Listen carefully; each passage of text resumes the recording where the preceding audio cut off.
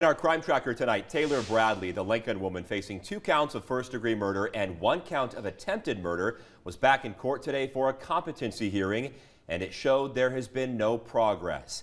Back in March, police say she intentionally ran over two men who worked on a maintenance crew at the Lodge Apartments, killing them both.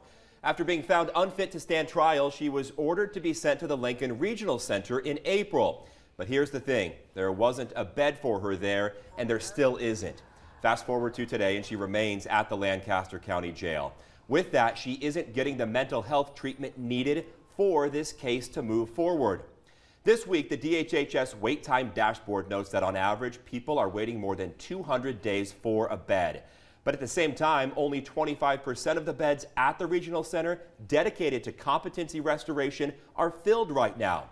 The judge today scheduled another hearing to check on the status of this case for the end of August.